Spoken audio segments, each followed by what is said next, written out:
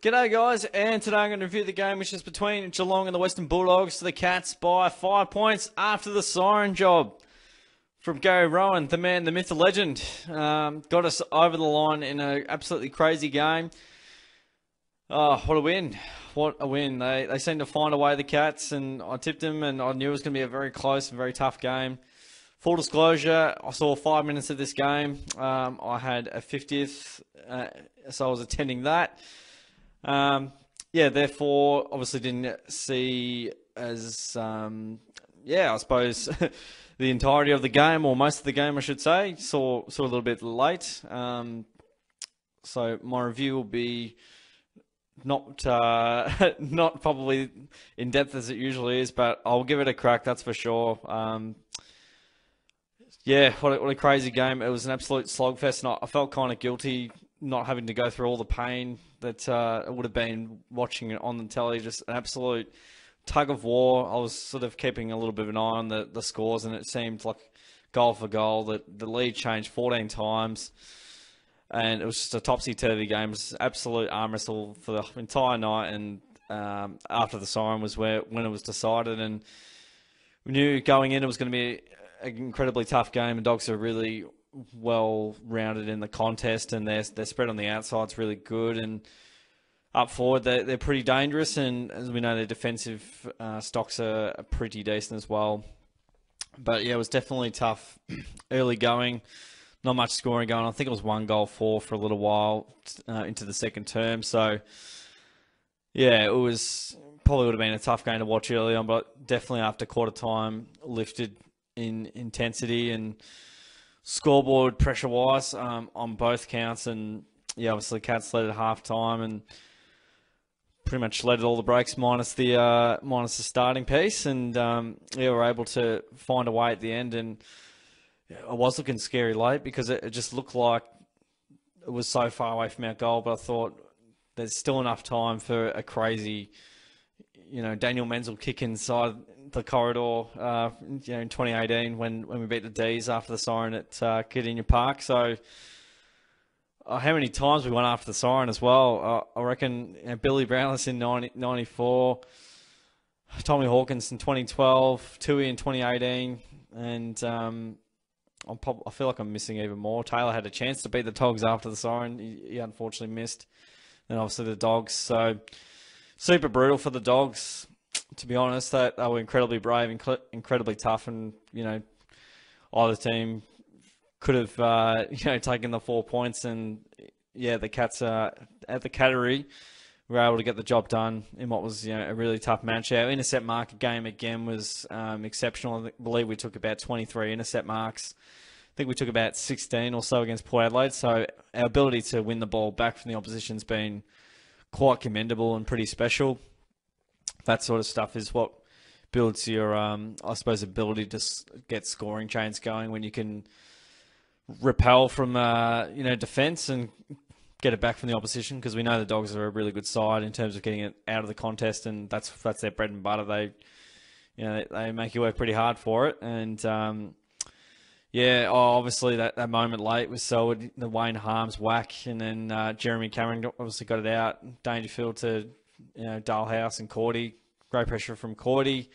Uh, Dahlhaus on Cordy, I should say. And Isaac Smith, a perfect kick to Rohan. And I thought, well, not all, all, as long as he doesn't miss the lot, we're, we're absolutely good as gold. So, and um, it looked like it was going a little bit to the right, and I was a bit nervous, but uh, it it faded back beautifully. And yeah, fair to say, I was up and about, and uh, it was a good five minutes to see, I guess. It was, yeah, it was, it was pretty tough watching on, but not as tough as uh, everyone that endured the entire game. And it sounded like it was a very taxing game and one of those games where you age five years watching watching on. But uh, the, the dogs are they're a tough tough mob, and they'll definitely be up there in the top four, top six this year. Probably top four, I'd say, with the way that they it. They've obviously lost a couple of games to some key clubs. I think the Tigers, the Cats. Um, I'm trying to think if another club's got them, but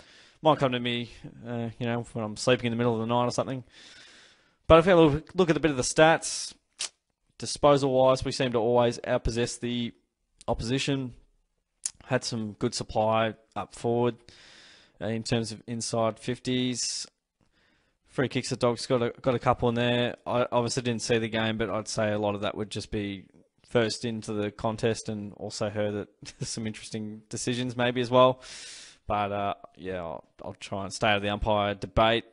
Uh, won the hitouts apparently, and doggies won the clearances. I feel like we usually win them more about even, but yeah, dogs are pretty hard to beat there. Contested ball though is the key. Generally, when the Cats win it, they win the match, and uh, so so we did, and had more more uncontested ball as well. Makes sense since we have more of the footy in general, and Dogs turned over a little bit more. We're pretty good in the air once again. 19 contested marks. So we took we've taken 40 contested marks in the last two weeks, and I think we've taken 40 intercept marks in the last two weeks as well. So been crazy on that front. Uh, very good aerialists, the Cats, and that was without Lachie Henderson. So I think it was a laid out. And tackle wise, we our them, which is really good. So that must mean the pressures um, and the mindset from the Cattery is very good. Uh, bit of running bounce and yeah, one percenters doggies uh, did well there. So that's a bit of a rundown of the game. Uh, we look, look a bit of the stats. Uh, votes are going to be tough for me to do, but I think I've got a good idea of where I'm going with them. So Tom Stewart uh, gets the three votes. I think that's universally accepted. Uh, 27 disposals, 13 marks. What a man he is. Um, I think 10 of those were intercept marks as well. So he's not just getting those chippy sideways, he's winning the ball back off the opposition. And he's just been, he might win our best and fairest. Uh, the way he's been playing, he's just been absolutely exceptional.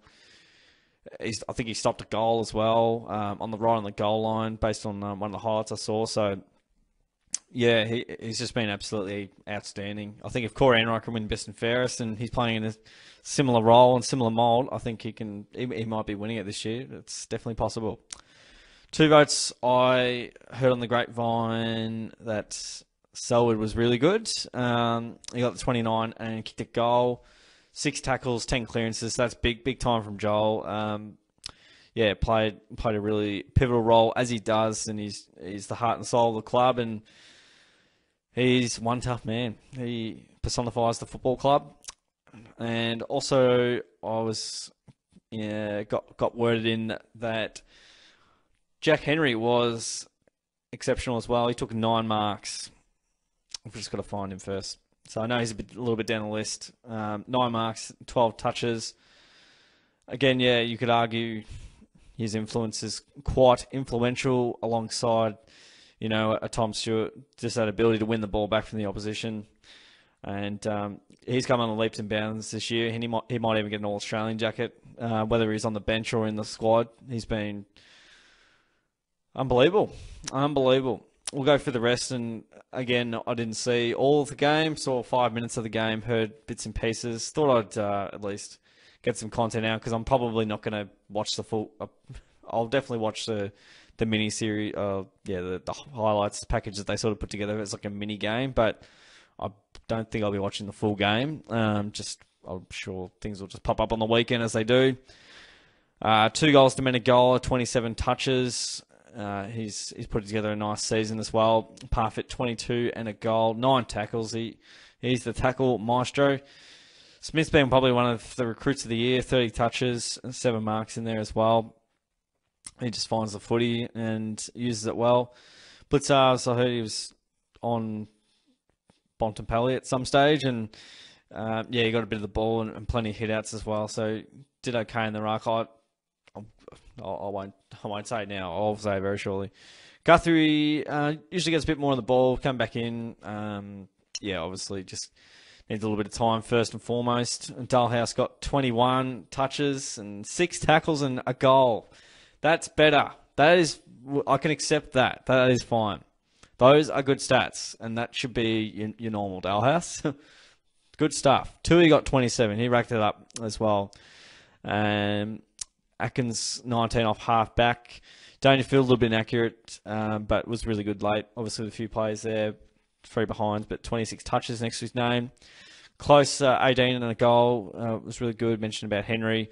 Rohan, the the, the match winner, um, excellent finish, and his set shot routines just phenomenal. It, it, just finds a way. It really finds a way, and um, he he won us the game off his own boot right at the very end. Um, Bews got 15 um, down back. Cameron kicked 2 2, not too bad from 15 touches. Got a bit of the footy working up and down the ground. He's such a workhorse. Saw the vision throughout the week where he just runs from full back to full forward and yeah, just finds a way to out out uh, run his man. Uh, Ratugolea, nine touches and a goal. Uh, Narkle, I'm not sure if he was a medical sub, but he got 16. Hawkins kicked a goal, 13, well held. Had a bit of a neck injury by the looks of it. Higgins, uh, a lot of handballs. He's supposed to be a bit more of a kicker, but yeah, he's pretty lucky to be in the side. Uh, O'Connor, a little bit quiet, but he might have been playing down in the back pocket potentially. Um, Kolodjashnij got a little bit of the ball, not much. And Duncan went off with a knee injury by all reports. I could be wrong with that, but let's just we'll just go with it for now. And he gained 14 metres for, for his football side, and he spent 6% time on ground. Uh, so that means Duncan's probably out, so Narkle should get a spot if he wasn't the medical sub. I could maybe validate that. Um, yeah, so Duncan will probably, I doubt he'd be playing next week. Uh, Higgins will probably just stay in by default. I think he could definitely go back to the VFL and uh, earn his stripes again, or his hoops rather. Um, we, we, I think uh, so. Bruce, I believe, kicked three. If I go to both, Bruce kicked three. I, the last three or so weeks, or a little bit more, we the big forwards have kind of got a hold of us, and they. I know the game's opened up a little bit, but it's never really happened over the last probably five or ten years, to be honest. And um, yeah, a few just a few forwards kicking a few. You know, Charlie Dixon kicked four, Bruce kicked three, one goal, five to Max King. If you kick straight, you know that's four to six goals. Um, we need to play Blicavs down back. Um, I understand him playing him in the ruck at times, but play Ratugolea in a couple of years' time. Our window is right now and maybe 2022. Just worry, play him. He could be in our best 22 in 2023. You have to play Rhys Stanley or you're nuts. He, he was really good in the 2020 final series. He had one not great game, and, and then he played well on Grundy and did a great job. And Ratugolea just gets a go for just because Scotty loves him for some reason. So yeah, that that bit irks me, but I don't know. See how they go. I want frantically to be injured. Uh, we got we got. gosh, my voice is dead. I've done a lot of talking tonight. We have Miers in the, the VFL. Hopefully, he comes back soon. He might be a chance. See how that pans out. um, yeah, there's not a lot of changes really come to mind, but I would have taken one out of these two, uh, Port Adelaide and the Western Bulldogs. We, we snuck over the line, and I'll take the win. Well done by the Cats, and doesn't get any easier because week after we've got the Lions. This one's at the Gabba. I'm probably leaning. We've got a good record against Brisbane, generally speaking, no matter where we play. But yeah, if it was a close one at the start of the year, we're playing a lot better footy than since the start of the year. Uh, I'd be leaning towards Brisbane, but also think that we're a great chance to win as well. Um, they'll be seething from the prelim final loss. Of, obviously, that will definitely be front of mind. I think it's more more for them to play for. I feel like we're due for a bit of a loss as well. We're playing some good footy. Um, maybe the dry conditions might suit us.